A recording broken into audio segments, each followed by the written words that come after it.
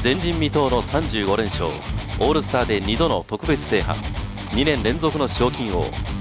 青森が生んだ不正室のレーサー坂本勉。語り継がれる栄光の足跡。青森競輪今年度の最終戦は第1回坂本勉カップ争奪戦。